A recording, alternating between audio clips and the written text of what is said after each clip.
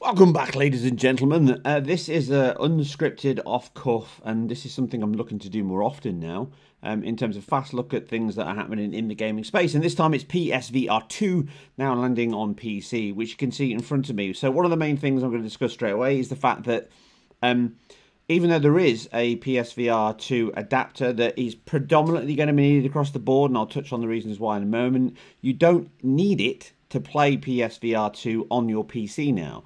Um, basically, the PSVR 2 was built with PC in mind. I said this in my review. It's got USB C, which means it would fit virtually uh, and simply within the virtual link system, which probably was already in that development stage when PSVR 2 started, um, because that was kind of brought to life in 2018, 2019, and then it was kind of killed off 2020, I think it was where no one could agree on the actual singular format. But there are GPs out there that, that use the virtual link solution. I have one, an RTX 2070. I think beyond that, that everyone stopped using it. I think NVIDIA stopped in the 30 series cards, and AMD stopped uh, 6800 cards, um, and not even all of them used it. So it wasn't consistent. It's not everywhere, but there are quite a lot of cards that use it, and therefore my RTX 2070's got it. My 4090 doesn't have it, which is a bit of a shame.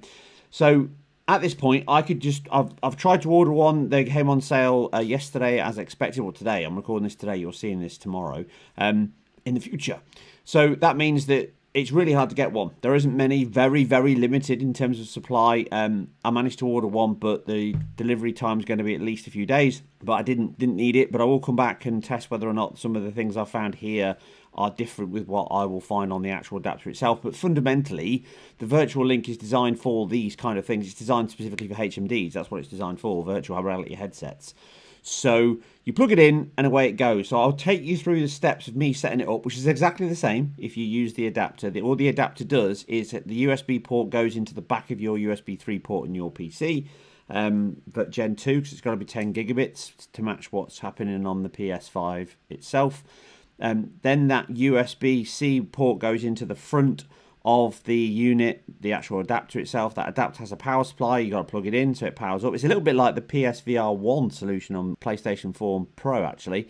And then in there, you then have a, a display port which goes out of it and into your chosen display mechanisms. So for me, I'm bypassing all that. I'm plugging my PSVR 2 headset straight into the back of the USB-C port on my RTX 2070 that virtual link connection, and then it all connects up through there. Once you've done that, if you don't have that, then you do need the adapter because you've got no way to connect it back in. Um, it's plug and play. You, will see it on screen now. It's installing, installed the apps, everything connected fine. You couldn't really use it as a game. It wasn't recognized in Steam VR. Um, you do need the PSVR app though, as I expected. Um, some of that is the driver. I think there is a driver in there that updates it, and you need it to update the headset and the controllers, which it did straight away. Again, as you can see on screen when I booted everything up, and they were recently updated on the PS5, so this is predominantly updates to support the PC mechanisms, I would assume. So it's got additional elements there, so it works better with PC. And then the next challenge, as I mentioned in my video, is the fact that you do need Bluetooth. If your PC's got Bluetooth and it's a decent one, so you really need Bluetooth 5.0. Um, I've got the recommended one here, so this is the so this is the one you can see on screen, the TP-Link Bluetooth 5.0. This is the main one they recommend from Sony, so uh, I bought this specifically to use on my PC. You can plug it into any USB port, again USB 3. Uh, it will work USB 2 as well, but I'd definitely go for a faster port if you can, just in case there's any bandwidth issues and then that is used to sync up the sense controllers. Uh, and again, as before, they're just Bluetooth devices, so you just connect them in there. They'll then pair. Once they're paired, they'll always pair, and then you just you can track them both in the PSVR app and also in Steam VR as normal. And then you go through the similar setup as you did on the PS5, and I covered in my review. I'm not going to go through that here, but essentially you set it all up. You do the room scan. The room scan is different. Um, you don't get all of that um, virtual geometry built from the PS5, all that's gone now. You just kind of look around and it creates a scope around your head and then creates a workable space. Um, the driver also comes as part of that install, but there is an install for Steam VR, or at least an update for Steam VR as well. And then once that's done, you don't need to run the PSVR app. You can just kill it. Um, it doesn't need to run in the background. It will work seamlessly with Steam VR and it tracks all of your controllers, headset, and everything else. And there is slightly more functionality there than I originally expected, and probably more to come, as I mentioned in my video before and the one the other day, which you would have seen my database video. Um, so once all that's done, following the same setup as the PS5, like I say, you've got this conal view. It sets up a, a play space. You do you can configure that directly from Steam VR, but when you do, it pulls open the PSVR app. So you've you've still got to do that part in the PSVR app. And then from that point, you can just kind of browse around and set all your options within the menu system as per any other HMD headset. Works seamlessly, looks really sharp and clean, and there are some nice little benefits here in terms of the PSVR 2 headset that they've boosted. So one thing you can do is super sample the image way above whatever is possible. Obviously, I've got I'm limited here because my 2070 is not a powerful. It's a shame because once I've got it on the 4090, I'll be able to open up and get you know stretch its legs a little bit.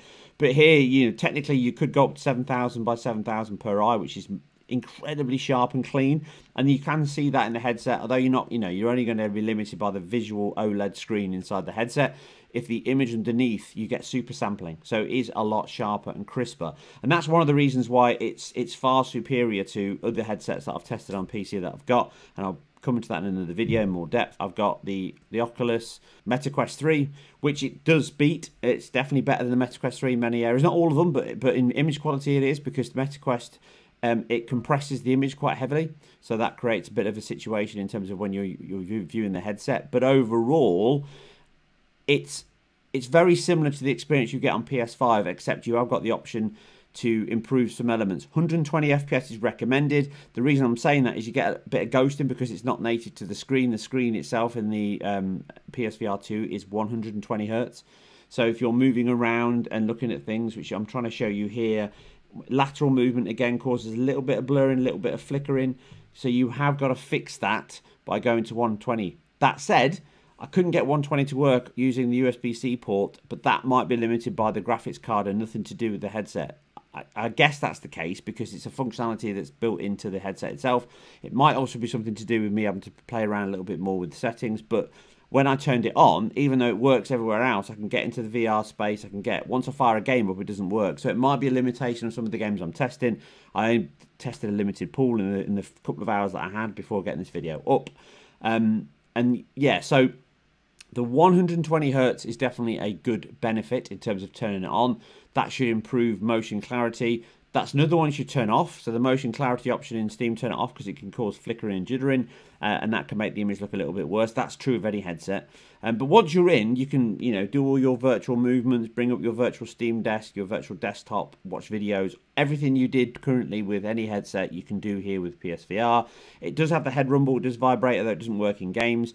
Um, it tracks your fingers, so you got a little bit of finger tracking movement. And then I tested it with a collection of games. So Tentacular, which plays, I've got it on PS5 and on PC, plays perfectly, tracks my hands brilliantly. I had no problems in the in the space that I've got with quite a lot of electrical equipment it picked up my controllers very well. I didn't have any, um, you know, no more than normal in VR, tracking issues and all that kind of stuff.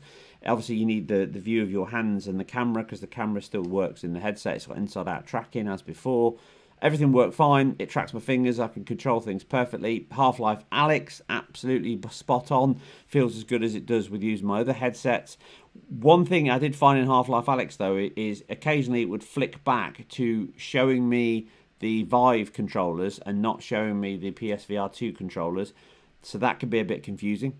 And obviously using this solution, it makes it a little bit more difficult to capture. You have to you can choose various methods to capture at the moment, what I'm doing is outputting the GPU graphics straight to the capture card, and I'm using the Steam VR headset functionality where you can display the VR screen. Um, some games bring it up on screen anyway when you're playing, so you can just see it normally as a 2D display, a little bit like the social screen that PS5 uses, but you will find a difference there game to game and function to function. Um, I did have a few mapping issues. I had a situation after about two hours of playing where it lost my right hand controller and no matter what I did I couldn't get it back. So I had to basically reset the Bluetooth and then that fixed it. I didn't get any controller issues in the game in terms of mapping my hands but I did have a few moments where it didn't pick it up as well. So it doesn't work as well as it does on PS5 after using it for months and months and years at this point. It it's not quite as consistent the overall experience in terms of setting it all up is almost as close, but not quite as good. The see-through mode works perfectly, so you can press that button at any time and see through into your office if you're doing any work. You can see where your controllers are, but all of the GUI and the UI that works in terms of the PS5 doesn't work as well here, so you don't get the glowing contr- controls around the ha- handset. You can't see virtual versions of them in the game. Um, some games you can see where they are in terms of a, a, a, visual presentation of it, but not everywhere. So that makes it harder to locate your devices. I do think there's more functionality that could be added here, and again, this is just an early, fast first look at the whole functionality, so don't take this as a gospel review. I'll have a review coming up very soon where I test it with more headsets. But overall, I'm impressed. You know, it works as as intended. It still has that warm, that that you know, the screen door mura effect that comes up on screen. That is still there. That's persistent within the the focal lens of the screen. Uh, you can improve it by super sampling it. You don't get um, OLED benefits in terms of the HDR functionality as yet, but I'm pretty sure that they'll figure that out and get something working. Um, but overall, I'm very, very impressed with the visual quality, very impressed with the use of the headset, very impressed with how easy it is to set up and get going, and also impressed the fact that it's not having an app running in the background at all times. It's just running it seamlessly within the integration of Steam VR. So again, brings me back to my point where um, they've they've got the strategic partnership between the two, and now Steam VR has obviously been working with Sony at some point to get this fully configured into their driver suite and working as expected. Like I say, some of it is the driver that's come with the PSVR app, but you do get updates to both applications. And make sure that you follow all the guides, do all the updates first, and just step through all the setting up the environment. Because if you don't do any of those things, you can have a terrible experience, which is true of all VR um, headsets. So just take the time to set things up properly. And then you too can be playing Half Life Alyx in PSVR 2. Um, your thoughts and feedback. Do you have a PSVR 2 headset? Are you looking to use it on PC? Have you got a card like a 2080 or a 2070 or a, a 2080 Ti? Those would be good cards. I think the best quality cards you could get. Other than that, something like a 6900 XTX if you could get it, that's also got you. That's got Virtual Link, I believe. And Virtual Link is this standard headset solution, as I mentioned, that basically was designed around using USB 3. It gives you far better power delivery to the headset as requirements. You don't need a separate power source. It means that the PSVR 2 keeps charged at all times, and it also means that it gives you the widest bandwidth possible, and it's direct from the GPU. So for me, it was perfect. I, I always thought Virtual Link was a perfect solution. So I was dead surprised when it kind of had such a short lifespan. And all the people that got together, including NVIDIA, AMD, um, I think Sony or Intel, and, Val- and Valve, I think. Yeah, Valve definitely. All of them were involved, and then within two or three years, it was it was canned. So bit of a shame that they couldn't get to a standard there, and that's that's the constant problem I think in technology. You know, HDMI has been probably the most standard functionality we've had for such a long period of time. It's been nice. Prior to that, um, even then we had arguments. You had SCART, you had composite, you had components. So even when that digital or analog, it's never been a simple solution. So that's a shame. Uh, but uh, like I say, I'll have to come back and test when I get the actual adapter to see if that improves or changes some of the tracking issues that I had in the game itself. It shouldn't because most of those issues did come from the controllers, but I did have a few performance hiccups that I've never had with my Vive headset. Um, so that's a bit of a weird one. Uh, what I mean by that is the game kind of started to slow down for a few seconds, and I had some performance hiccups in Half Life Alyx, which also I could visibly see in the headset. I've not noticed those before, but again, it is early days. Some of it is the fact that I'm using a 2070, which is not my preferred um, PC or GPU for VR gaming. I would recommend something more powerful than that. Um, you're not going to get anywhere close to achieving what the PS5 does there. So if you are looking to get that quality or better, then yeah, you are going to need that adapter, or you're going to need a, a, graphics card that supports it. So, like I say, a 6900 XTX, I think, is the highest spec card that supports Virtual Link. But again, that's top of my head. If anyone knows differently, put the comments down below. Hopefully you enjoyed this video. It was fast, it was furious, but it was VR related. And I shall be back with far, far more virtual reality related content and other stuff that I'm working on as well. So remember, I am self-funded, I am independent, I am doing all this on the side in terms of my full-time job. I am a full-time developer, stroke delivery, management, architect, so that's what I do as a living. So all the things I do here is a secondary thing to my full-time role, including the stuff I do over on IGN.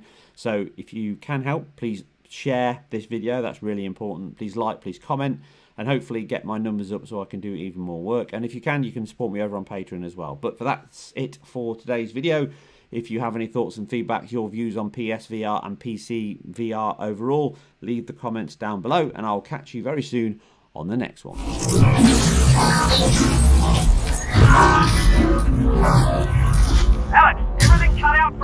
I lost the headset video feed. Can you see my drone? Is it okay? Sure, sure.